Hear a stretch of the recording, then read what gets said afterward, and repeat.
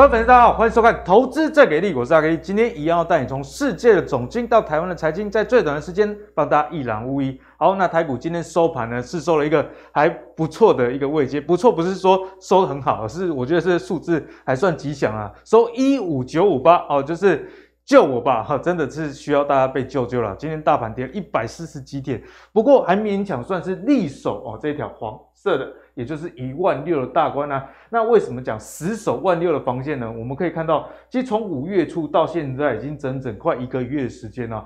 基本上多空头的这个交战就是在这里哦，密切的防守。我们看到这个美股呃有大跌的一个情况，但是呢，台股基本上相对于美股来说，并没有到那么的弱势。所以一万六这里有没有守？我觉得就是一个很重要的关卡。所以今天也会跟大家来看一下。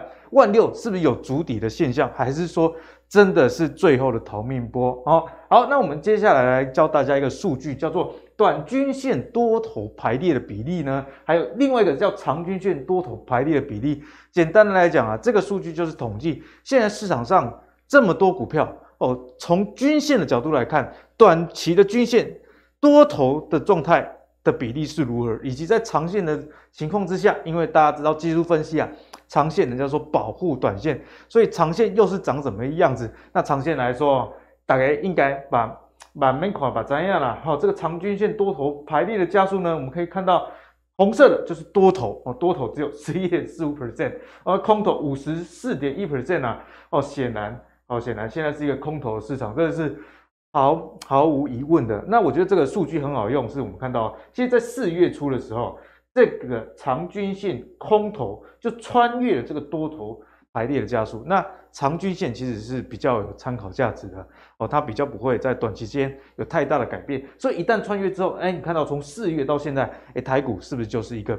比较创低这样的格局，所以这个指标阿格力觉得很好用哦。不过也要跟大家讲一个好消息啊，我们看到这空头排列加速其实有往下弯这样的一个味道哦，有往下弯这样的一个味道。那虽然这个距离还很远，不过另外一个好消息是短均线多头排列加速，而这个就是比较大家知道的五日线啊这样子的一个概念。哎，多头排列加速二十七 percent 哦，比长均线的十一 percent，哎，显然。要多出很多了，而且重点是啊，空头排列的二十四点九五，所以啊，现在已经出现这个黄金交叉了。那虽然说在短期的均线这个变化，有时候国际上万一又缩表啊，又怎么样，可能会有很大的变化。不过至少可以看到，现在台股确实是有筑底的一个现象，哈，确实是有一个筑底的现象。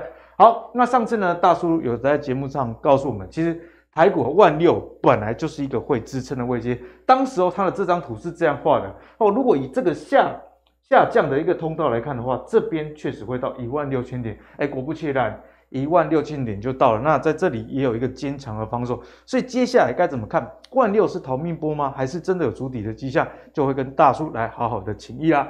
好，那首先呢，我来欢迎我们今天的来宾，就是我们的囧大叔。那囧大叔呢，在节目上也一直用很轻松。很好懂的方式来教我们画技术分析，通道位出来，那的跌啊，基本上大概是多头还是空头哦，一目了然啊。所以今天要特地跟大叔来请教请教了啊，大叔啊，首先我们先还是要聊到，就是这个可恶的废的哦，对不对？一下子说啊，我们要很剧烈升息，股票大跌，哎，一下子又说啊，我们好像不需要那么的鹰派哦，市场上又有一点喘息之后，又说哎，这个通膨好像你不升息。坚场不够，立场不够坚定的话也不行啊！股市又大跌，所以都是他的错了。好，那我们来看看升息到底对于股市以及这个全世界影响是什么？那股市不用说，大家知道，今年纳斯达克、费半、S M P 五百跌幅基本上是两成以上起跳啦。那其实呢，这样子升息影响到新屋的销售，为什么影响新屋销售？很简单嘛，你利率高，你会想买房子吗？就算原本想买的利率一拉高，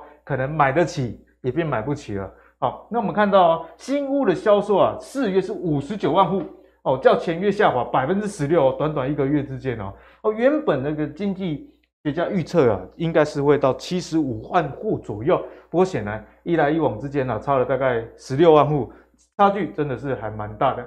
那我们看到，其实现在亚特兰大点准银行的总裁呢，这个波斯提克，他也是费的里面很重要的人物啦。他说啊，六七两月各升息两码哈。哦，他算是比较好一点点消息。九月会暂缓升息，应该是合理的。不过大家也知道，哦，大叔，FED 变来变去啦。去年说这个通膨降息耶降息耶，结果现在搞得这么严重，真的都是 FED 的错了哈，FED 的错。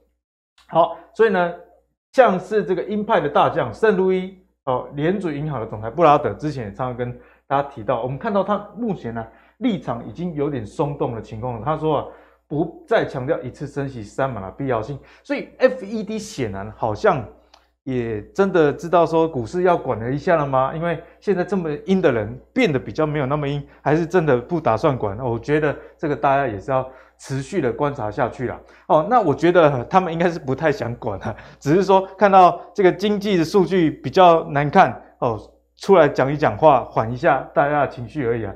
因为啊，最新的哦，这是最新的哦，今天公布最近一次的会议记录，他们变成怎么说？坚定的承诺和决心，会采取一系列升息来控制通膨哦，所以真的是吃了秤砣铁了心，这也是今天节目要给大家的一个 FED 的呃立场啦。就是说，你不要觉得说美国的官员会在救股市，因为在台湾大家都想说，哎，要选举了，你股票应该不能太烂。可是现在在美国，你通膨如果不解决的话，哦，你股市上涨，其实民怨也还是一样四起啊。所以接下来就要请教大叔了，在国际上那么动荡的情况之下，升息看起来立场是非常坚坚定，不管是升两码，再升两码，然后九月就不升。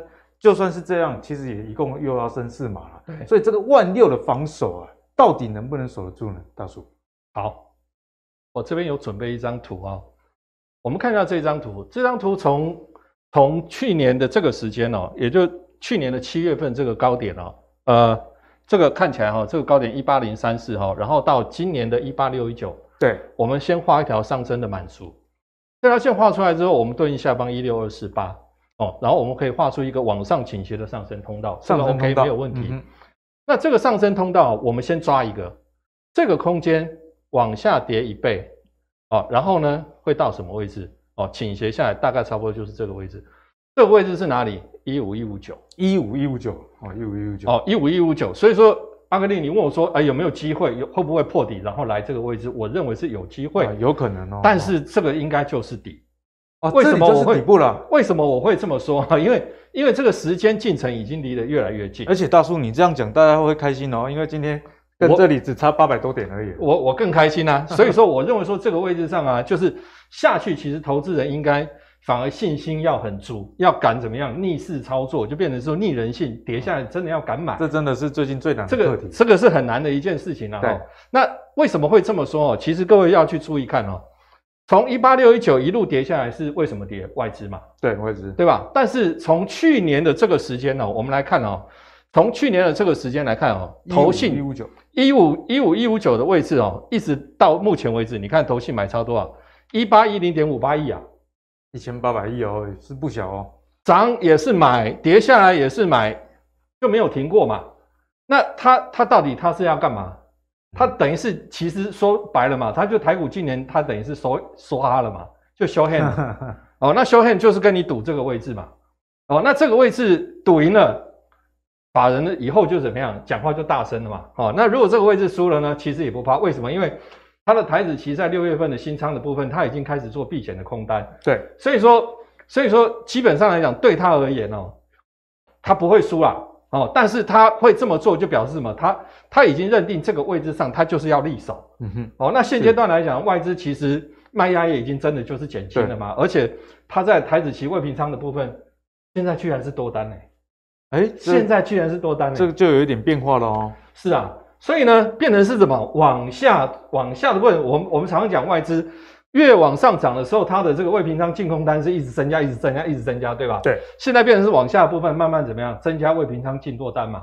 啊，那表示什么？我们应该是从这个方向去思考啊，说这个位置下来反而不是坏事。是现阶段来讲。下来你要敢买。哦，那最怕的就是什么？最怕的就是说你看到黑你会怕，然后你都是用追涨的，那这段时间就是区间震荡，对。啊，然后不排除有往下的这样的一个概率，但是往下其实下方的低点也有限，对，所以说这一段期间来讲的话，真正要操作的话，就变成是说你要敢买低，而且上去你要知道要做价差，现在没有那个什么破断行情 可以做。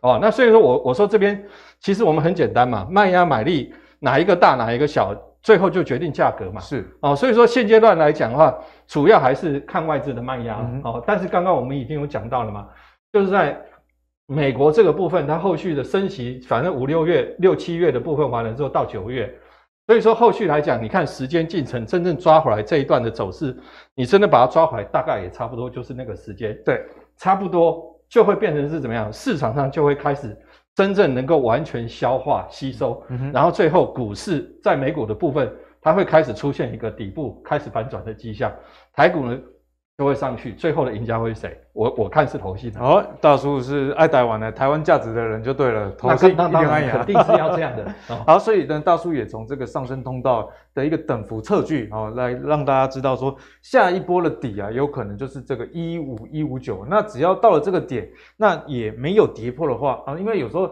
还有一些国际上局势环境的一个变化。是那如果跌到这里啊，确实就止跌的话，那说不定啊，短期内的跌幅真的就被满足了哈、好，那接下来呢，就要跟大叔来请教啊，跟半导体有关的一个关系哦，因为我们在最近的盘势上看到，诶，很多 IC 设计类股啊，甚至车用晶片的啊，啊，或者是细制材的，诶，其实也往上先反弹了一大段哦，所以我们就来看看相关的公司还有没有机会啦。好，那这个是全球半导体五大转折的信号啊。哎，先给大家一个结论，只有三个领域会维持强劲的需求，分别是伺服器、车用跟记忆体的晶片会有强劲的需求。那其他的这个半导体不见得就那么好，为什么呢？我们来看一下哈，在这个交货期的部分，我们看一下交货期的部分，伺服器领域啊，啊，交货期从上季的四十到五十周，第四季变成这个三十周，哎，所以这个交货期也是一个转折信号，大家可以去观察的哦。哦，这个交货期有在缩短这样的现象。第二个信号是库存啊，去年底啊，整个市场呃库存不到三点五个月，可是目前哈、中国已经到六点五个月了哦，所以这个库存期确实有拉长，因为全球合理库存是四个月，中国啊是五个月，可是你看到中国的库存也开始在增加，代表说，哎，确实是市场上这些半导体类股被杀也不是没原因的，因为大家呃在这个虽然他们财报还是很好，但是在未来这个比较通膨啊、总经啊、比较有疑虑的情况之下，法人啊五坛的先兆啊，啊五坛的先兆。第三个信号就是扩产，就是供给会有增加、十二寸的这个成熟制程的增幅呢是百分之十六，比需求多了八个百分点哦。所以供需之间只要一旦没有那么刺激，那你要涨价还容易吗？涨价就不容易嘛。所以大家看到很多面板驱动 IC，哦，从去年那个财报都很好，今年第一季财报也是很好，股价为什么还是趴在地上？哦，就是因为这些信号产生啊。哦，那接下来是营收终端需求确实有开始出现疲弱状态哦，所以这个节目上都有跟大家讲啦。但是伺服器、车用记忆体这个还是很强劲的需求，就要请大叔呢从这三个领域里面帮我们找出一些股票，哎，是不是还值得去留意的？好，我们延续刚刚讲的，往下震荡打底，需求就在电子的部分，就在伺服器、车用和记忆体，对吧？所以表示什么？这些相关的类股，如果说有往下这段时间有往下的话，反而它可能会真的出现机会。好，我们先把这个先讲在前头。好，然后我们来看一下，这个是翔硕，翔硕高速界面控制晶片，高速界面控制晶片啊，我们可以看哈、它从二三七零这个所谓的空方趋势确认点，然后呢，连二零六五这个高点，这两个高点呢，它出现一条下降的趋势，这条下降趋势对应下方一至四零这个位置，它是一个长期的下降通道，这个下降通道是从去年的二零二二年的十月一直到目前为止，也就是说，它最起码是六个月到七个月的这段期间形成的下降通道。现在价格走势最低点在一二四零啊，来到这个下降通道的下轨了吗？还没有来，还没有到哦，还没有来哦。那这个位置上，一般我们讲说主底，一般我们讲主底是是这里是 V 转吗？一定不会是嘛，它一定会是什么？它一定会是在这个地方，甚至可能下去然后再拉上来，这个才叫主底嘛。对，然后主底它一定会有一个形状嘛，可能是 W，可能是三个嘛，要底部的形状，嘿，啊，这个才叫做主底嘛，否则的话你就直接就是量大，直接做 V 做 V 转，目前几率这现在不太可能嘛。不太，可能。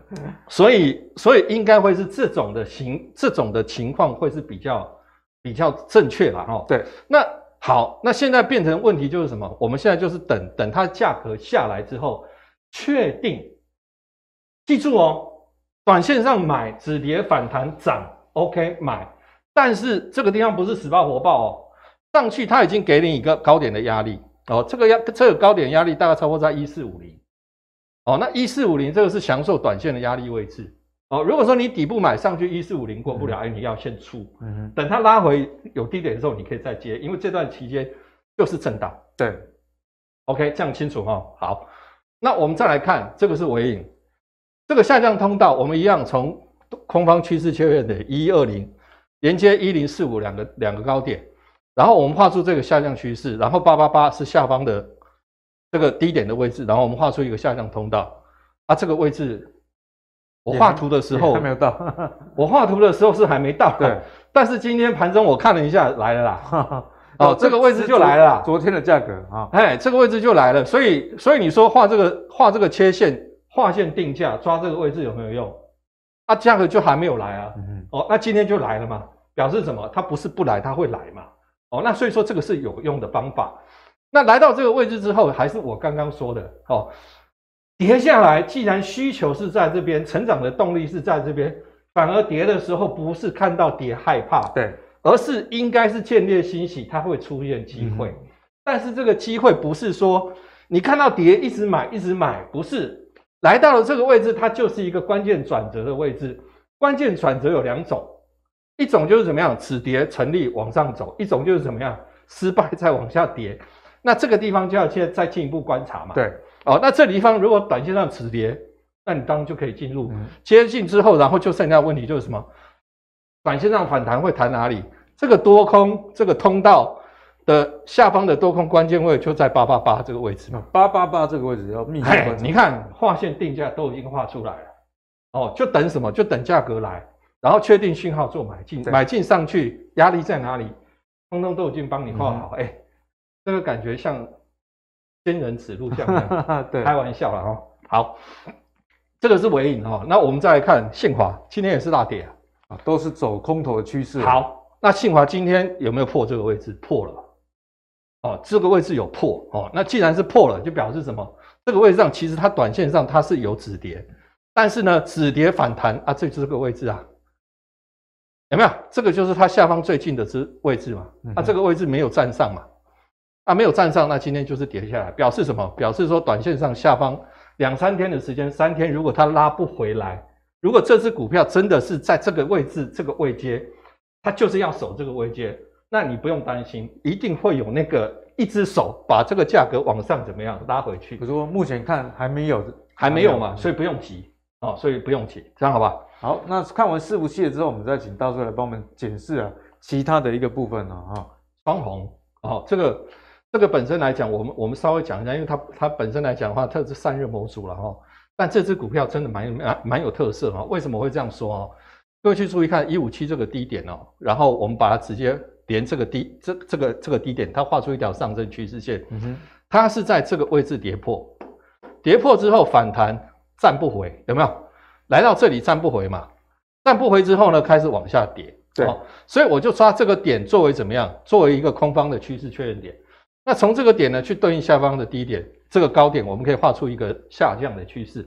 这个下降趋势，然后形成的是一个什么？下降的通道。对，这个下降通道往上涨，这里是做突破，突破涨上来一倍的空间刚好是这里，哎，所以短线上涨到这里，你说要不要卖？要卖嘛？哦，啊，你不要期望说它会一直涨上去了，不可能啦。哦，那涨到这里就该是怎么样？就等它打回打回来的时候守这个位置，这个位置大概多少？一六零。啊，一六零，哎，一六零形成支撑的时候再说。嗯哦，那一六零如果守不住，那就是下去，这边再下去，这里就会变成是什么双底了嘛？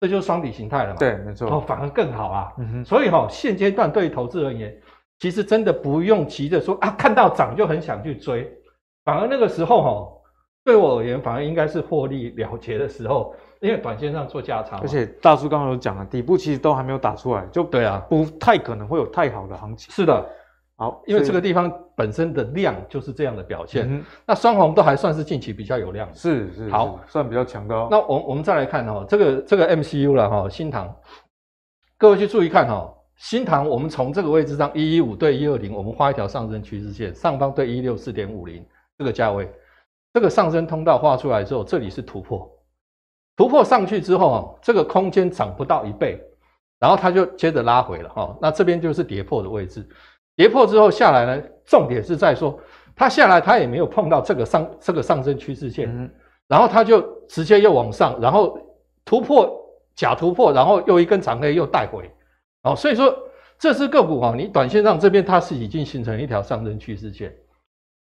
本身整个结构是强的，对，哦，本身结构结构是强的，但是在这个时间点，哦，变成是说这只个股后续的走势打回之后，既然它已经回了，哈，那就是差不多在这个位置，这个位置大概差不多一四六，嗯，一四六，一四六附近的位置。新塘如果跌回一四六，以这个线型来看，大叔才会比较建议大家对，啊，因为为什么这个位置啊，只要它能够确定止跌反弹往上的时候啊。其实它可能就是在上方来讲，就等于是守一七九嘛。哦，一七九你就不要给它突破，一七九突破之后，这个通道就画出来了。对，哦，那这个上去哇，那个就两百亿以上了。哦，所以这个就是画线定价的好处嘛。哦，我画完之后，我就知道关键价在哪里，关键压力在哪里，突破不突破，突破往上能够看哪里，嗯我就一清二楚了。对，哎，好，啊，这个是金堂。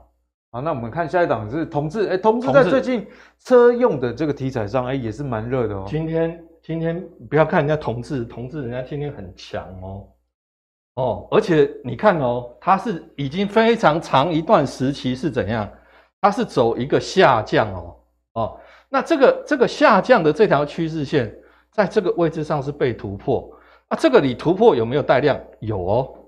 这边的量是有出来，是有攻击的态势。嘿，它是有出来的哦。短线上这边它已经形成了一条上升趋势线，哎，颇有这个技术惯性改变的味道。是的，好，那这个上升趋势线已经形成了，这个上升通道我们可以进一步画出来是这样。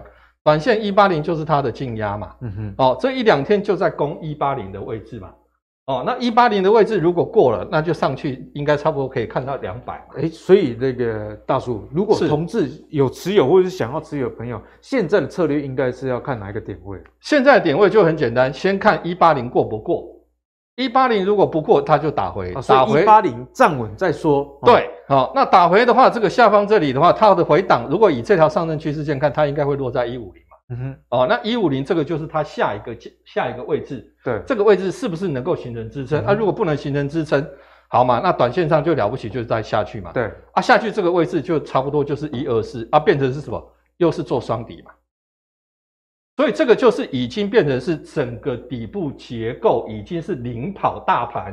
嗯哼，哦，所以说现阶段来讲，就这些个股其实它已经是领跑大盘。对，然后。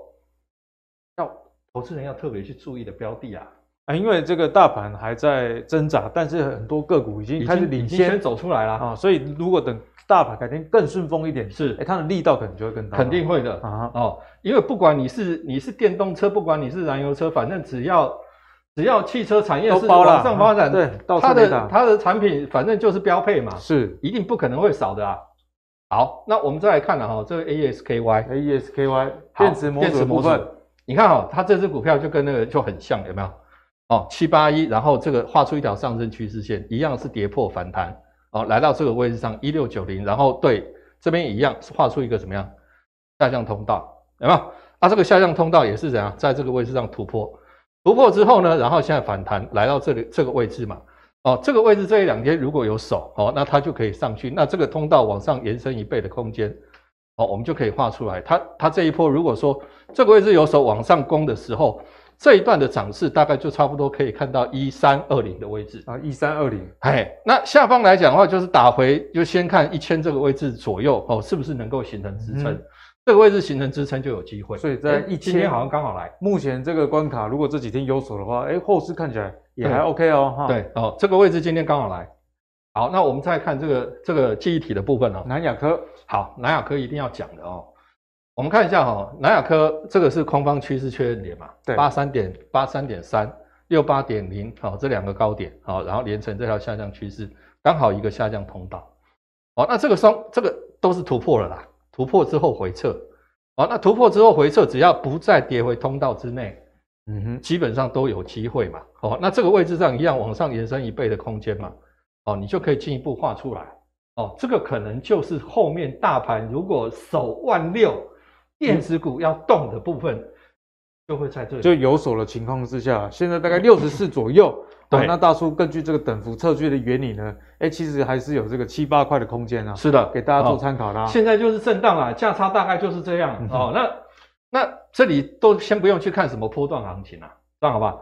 哦，那这个南亚科讲完之后，我们我们来看这个哦，金豪科。金豪科，你看从这个一样空方趋势确认点一九二次高点的位置，然后连一八二，它形成了一条下降趋势线，下方对应的低点一一零，然后形成一个下降通道。嗯哦，这个下降通道现在在下方这里，其实它已经慢慢在做主体的动作。哦，那不排除往下嘛，就算是下来来到下方这个位置上，其实这里才是重要的关键位，这就跟刚刚我们在讲尾影这只股票的时候很像。哦，那确定真正来关键转折位置的时候再说。当然有有可能短线上它怎么样，提前先往上做攻击哦，那上方就守这个位置嘛，这个位置只要能够突破。那它就是怎么样转强？如果这个位置没有过，这个位置多少？这个位置大概差不多是在一三二附近。好，那一三二如果没有过的话，这个打回下方就等着低阶就好。好，这个就这个就金豪科好，再进好哥。好，最后我们看一下豫创。记忆体的预创，好，豫创哈，你看同样哦，这是下降通道啊，下降通道来到这个位置上，现在正好是在中间嘛。哦，那这个下降通道的多空关键位多少？六九点二这个位置。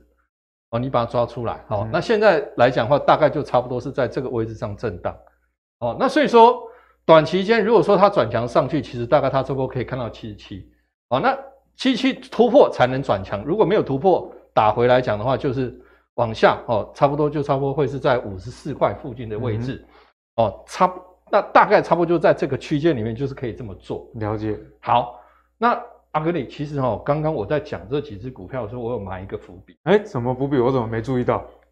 我们刚刚一开始不是想说投信今年修 hand 对不对？对，买很多。所以说这个时间我们是不是应该要特别去关注投信在第二季会做哪些哎标的？人家说投信第二季也要做账嘛，对不对？肯定的，尤其是现在这个时间点嘛，对吧？哈，那我们可以看一下预创，哈，预创我们看下方投信，现在这个部分是还没有哦，可是外资短线上最近这一段时间已经开始有介入、嗯哦，不太明显哦，因为价格走势还不到位。对，哦，那好，我们再来看哦，这个是金豪科哦，金豪科来讲的话哦，也是外资在琢磨啦。哦，我发现低润这个族群大部分差不多是这样，哦，差不多是这样。那前面这个地方投信是有买哦，但投信买的时候是相对高的位置，哦，所以说其实这个就是他们的一个操作区间了哦。那另外哦，我们再看回来哦，这个是你看下方投信，哦，近期这段时间就在买，哦，那另外的话，我们再来看这个 ASKY 也是近期，哎，也都买蛮多的哦。哎，我都挑这种啊，哦，然后呢，同志呢，哦，刚开始有没有？一点点、哦、这个啊部分也开始出来哦。然后呢，这个 MCU 更不用讲哦，一直都有哦，这边一直都有，然后外资这边也有哦。好，那我们再看这个双红哦，双红近期也是开始出现嘛，哦，所以说这个基本上来讲大致上差不多了哈、哦。那你看信华这边也是一堆了哈、哦，但是现在投信居然是站台买房哦，大致差不多是这样，嗯所以说。我现在锁定的标的差不多是就是投信有买，只是说这个在价格上，大叔也提供了给大家一些建议啊，跌到什么时候会是一个比较好的选择啦。好，那大叔刚刚也很精彩的帮我们扫描了哇，高达九档的公司哦，所以如果其中啊有一些是你有兴趣的话，不妨哦，你这反正我们 YouTube 播放多看几次，了解一下，哎，大叔为什么说哪些位置是重要的支撑？那有机会又会到哪里的价钱？其实都是在过去节目上他一直有教给大家，就是通道。以及的等幅测距的一个概念啊，只在关键位掌握操作，其他的这个不是关键位当中的那个小 K 棒涨涨跌跌，完全忽略它。就是蝇头小利不是大叔的重点，这样就对了啦。是的，哦、定价啊，你抓出来，你自然知道现在是不是可以吃肉的一个时间点。好，那在礼拜四呢，固定有我们的 Q&A 大募集，所以观众朋友，如果你有任何的问题，不管是股票、ETF 哦，感情的就不要问了，不会回答哈、哦。那只要跟投资有关系的，我们通通都会给大家解惑哦。好，那首先今天的 Q&A 的大募集，我们看到这个新竹的小蛙，他要请教大叔的，就是说缩表的选股方向。诶，我觉得这个也是很多投资人心里哈、哦、最软的那一块啊。六月已经要缩表了，那比升息更猛的这个对资金呃的影响，会是要怎么样去选股？哦，大叔这题你怎么看呢？缩表的选股方向啊，其实缩表的话，它本身来讲，也就变成是说，真正是从市场上把资金缩着、缩缩下来哦。那这个就是海水退潮了哦。那一般来讲，我们在讲海水退潮的时候，其实最简单的一件事情就是说，我还是一样，我会先从产业的基本面去找，对哦，产业的趋势还是先抓出来嘛。所以说，刚刚我们有讲到，在电子股的部分。伺服器啦，哦，DRAM 啦，哦，记忆体啊，或者相关这个部分，其实现在本身来讲，在产业的趋势，它是走在这个成长的嘛。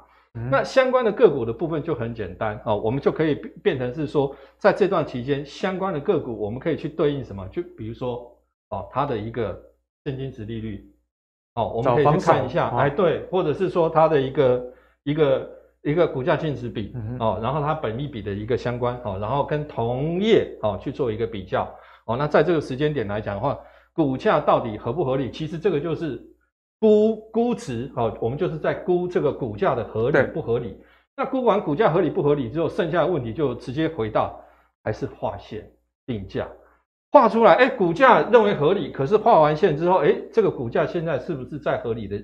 就是。应该可以做买进的空间的大小啊，搞不好不是，那怎么办？那就变成是说，如果有机会有更低的位置，你反而心里会更大实，你会知道说，哦，这个是价值浮现，对。你反而更敢去怎么样做勇于买进，哦，就应该是这样的操作。好，上面是回答新竹小蛙的问题，现在哈，我自己个人的私房菜了哦，嗯，私房菜，我在这段时间哦，你看这个时候要撩起袖子，要好好讲一下这段时间哦。这个时间点，我们现在这个时间点是五月下旬的嘛？对，接着六月，然后接着来到秋季哦。那苹果它有一个开发者大会是在六月六月六号、六月七号那个时间的哦。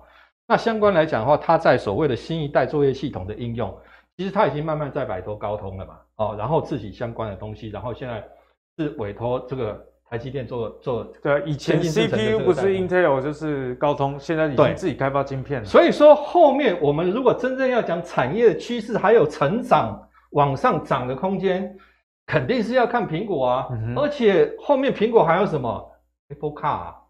哦，那那 Apple Car 其实它就等于是一个大苹果，人就坐在里面嘛。对，哦，所以说从这个部分衍生出来的后续相关的个股，短线上我们就先不讲远。我们就先讲短线上，你看红海，红海近期投信开始买了哦，然后呢，外资也开始买哦。那红为什么会在这个时间点买？哦，我相信这个就是时间快到了。嗯，时间快到了。那怎么讲时间快到？哦，各位去注意看哦，红海从这个位置上，哦，这个位置是二零二一年哦，这个位置差不多是三月份那个时候哦。那这个高点一三零，我们抓次高点啊，一三零一二零，然后直接对一下，这是一条下降趋势线。下方这里呢，九六点五一零一一零零一的位置，它是一条上升区，其实它是一个三角收敛形态。那到底这个叫做中继嘛？哦，那中继表示什么？中继应该是再涨的讯号嘛？哦，可是股价没有涨啊！哦，为什么没有涨？因为后续相关 Apple 的东西没有出来嘛。而且没有题材，今年盘也不好。对，盘第一个不好哦，然后相关的这个部分不到位，时间不到嘛，然后它的这个这个这个自己的电动车 M I H 相关的部分，就是就前面的一段之后，后面就开始就变成是说，随着盘势，然后就就开始进入了一个长期的这样的一个震荡整理。但是这个地方你看哦，第一次发动，我要跟各位强调，就是这一根 K 线一一一这个高点的位置下方带这么大的成交量。这个是收敛形态，收敛的尾端喷出第一根，当时有很多人追在这，但是追在这之后股价没涨，反而它后面再怎么样震荡整理这么久的时间，那这个呢变成是说我们要抓，大家注意哦，这个地方哦要抓红海，什么时间会发动哦？为什么会抓在这里？我教各位一个方法，你把这个位置哦，你一样，你把它扩充，然后你连升下来哦，我画的不够标准了哦。你画下来之后，你会发现到时候差不多是在这个位置，然后下方这里呢，你一样，你把它扩底，然后画出来，哦，大概差不多就在这个位置。然后这里呢，就告诉你什么？这里是后面只要它一突破就是买，哦，那你你就可以买在刚好就是收敛的末端，它只不过是把这个形态扩大，但是呢，它还是一个形态，而且这个形态叫做什么？还是叫做三角中继形态嘛？哦，只不过是说。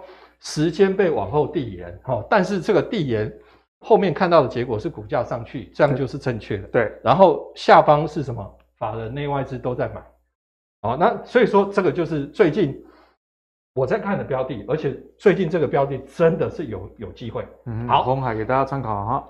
好，另外哦，我们再看这个真鼎哦，真鼎这个也是洪家军的嘛，同集团的，对，而且呢，它已经切入这个窄板嘛，哦，那所以说在这个部分呢、我们来看哦，你看哦，八四九零点三上升趋势线对应上方的高点一零九，这个上升通道，这个上升通道当初一零九这个位置画下来，它是一条下降趋势线，价格在这个位置上做突破，突破下面有量，哦，然后呢，法人再买。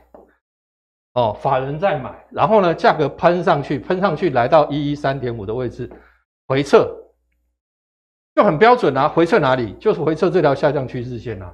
被突破之后，反差变成是支撑啊。然后这个位置上做买进，然后往上呢，来到这个位置上。哦，那这个上升通道的结构没有改变啊。这个上升通道高点多少？一一六一一七，去哪里都后来？哦，今天已经到了，哎，现在都后来哦。啊，划线定价真的很好用，我再讲一次。嗯好，这个真顶了哈，那真顶这个位置我刚刚已经已经有讲了嘛，哦，刚好到这个位置，然后明后天它有没有往上做突破就很清楚，知道后续的操作应该怎么做。好，那另外我们来看华通，哦，华通哦，现在为什么会去看华通哦？其实很简单了哈，我们既然讲苹果哦，那不管是 Apple Car 或者是说它的一些其他的相关应用哦，就是在山西的商品或者是相关的这个部分，总之它就是要有 connection 啊。那要靠什么？通讯很重要哦，靠通讯啊。通讯这个部分来讲，华通啊本身来讲，它在这个部分的这个这个接单哦很多嘛哦，那所以说要去看这只个股。那我们看华通的部分哦，其实你看哦，这个上升趋势线你把它画出来之后，这里跌破。照道理讲，这边应该是往下直接跌一倍空间，但是它没有，它是在这边硬生生被扭转上去，而且跳空上涨啊。其实这种哦，才表示什么？才表示说里面真的是有主力色彩哦。那既然有主力色彩，我们就来看一下这一段到底是为什么会被扭转往上嘛？哦，那我们就可以看到下方哦，一哦外资买哦，啊前面呢是什么？投信买嘛，哦。那更不用讲说，之前外资也是一路买这只个股嘛，哈。更重要是什么？哎，近期居然融券在增加，哦，表示表示这只个股啊，变成是说，可能市场上的投资人跟跟法人的看法是有差异的，是有差异的。哦，那到底短线上谁会强过谁？哦，我我我在市场这么多年，我永远看到的通通都是空单被嘎完之后，然后。多单一般来说是这样子的，对。那所以说，我认为说这个这个位置上就会出现机会。那短线上呢，就就很简单哈，这个就是它近期的高点的位置哦，就差不多在差不多四十九块五附近这个位置。对，这个位置没有突破，短线上拉回来到下方四十五块的位置，我认为是好买点。对，哦啊，尖又空嘛，不是坏事哈。那这个位置再上去的时候，反而怎么样？这个价差空间会拉。哦，算是今天目前这么多划线定价里面，哎，看起来比较肥美的一块哦。是的，哦，那所以说我我觉得说现阶段的话，其实股票真的也不用很多档了，这个时间点很多都在筑底嘛。哦，那现阶段短线上就是价差可以这样来操作的哦。嗯哼。然后比较这个趋势明确的哦，这几只股票我们可以近期多留意。好，那这个供投资人参考。谢谢今天大叔给我们的解析了。然后大叔从这个划线定价确实也给了大家很大的一个方向，不管是哎现在是处于一个比较。下方有支撑的，还是即将要碰到压力的，都跟大家讲得非常的清楚。但是我觉得技术分析有时候是这样，看别人画好像很简单哦，但是自己画的时候不知道从哪里开始画起。没关系，在我们的这个节目，其实在 YouTube 上你可以多看几次，大概就可以知道，哎，大叔为什么会把线画在这里？那下方的支撑为什么在这里？哦，其实都有它一个原理存在，提供给大家做一个参考啦。好，那我们节目的最后呢，一样是这个 Q&A 问题，是我们。同给力的会员哈，这个有 logo 了，就认出来了，就是我们翔宇的部分啊。他说可以请阿格力老师吗？啊，当然可以，因为这个同给力的会员哦，不回答都不行哈，对不对？是去年才入股市的新手啊，拟定交易策略之后呢，常常会因为市场乐观情绪或恐慌的情绪影响到之前市场呃之前自己设定好的这个操作策略，其实这个也是大家都会有的问题啦。比方说，呃，不管你是纯股族还是做波段的，当市场上有一点动动乱的时候，你就会开始自我怀疑，想说我这样做真的是对的吗？啊，所以我觉得会遇到这样问题也是非常非常的呃人之常情啊。例如说，他说五月四号抢反弹的瑞玉哦，抢反弹瑞玉。五月二号啊，因为市场情绪把瑞玉出清，因为五月十二号那天台股发生什么事，跌到一万五千六百多点哦，所以他就把瑞玉出清哦，那导致本来该掌握的获利无法拿到，怎么样的的方法可以提高自我纪律呢？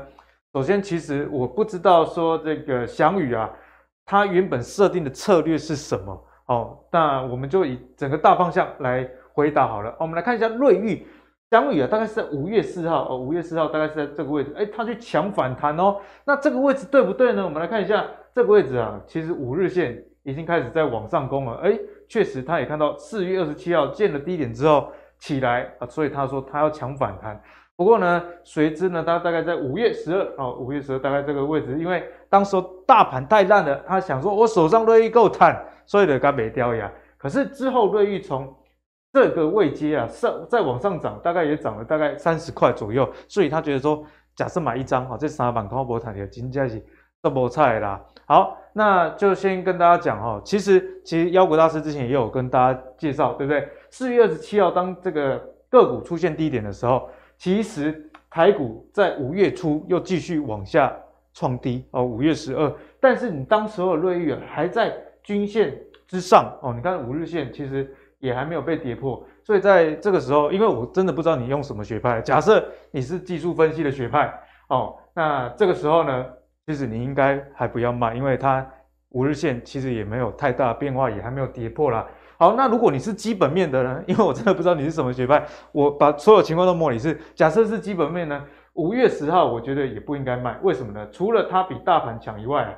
其实五月十二号，你已经可以知道四月最新的营收了。那我有帮香伟看一下，其实瑞昱四月营收也还是双位数这样的一个成长哦，也还是很不错。所以，哎，基本面、技术面都不错。那剩下一个是什么啊？就是在筹码面呢。那其实，在外资啊，虽然一直都都在卖，但是卖压在你卖掉的过程中也是逐步的减少。所以总结来说，哎，技术面也没转弱哦，那个财报也没有很弱，那筹码也没更坏。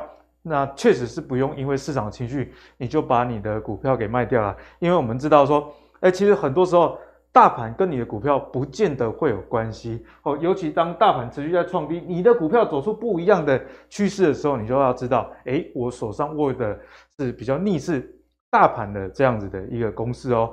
好，那总结来说，还是给小雨或者是有类似建讨的观众朋友一个建议啦，相信自己就对了，因为就算你相信自己的结果。最后啊是没有赚钱的，我觉得这样也是对，因为人啊，你要调整自己，你就是要每一次你的策略都要去执行嘛。那你不要因为结果的好坏来定义你决定的对错，而是哎，我制定的 A 策略，那可能有十次有，假设六七次成功，你就要忽略掉那三次的失败，因为同一套方法在大多数的情况下可能有用，可是还是会有少数外在环境让你的方法看起来结果不是到太好。哦，所以多试验几次，如果呃这个结果是不错的话，未来啊就不要太管大盘对你心理的影响，相信自己，这样就对了哦。好，那今天呢就是今天的节目的内容，不管是 Q A 的部分，以及大叔教大家如何划线定价，相信大家都有很好的一个收获。如果你喜欢我们节目的内容的话，别忘了上 YouTube 订阅 M V P 财经生活频道。我们下一集再见喽，拜拜。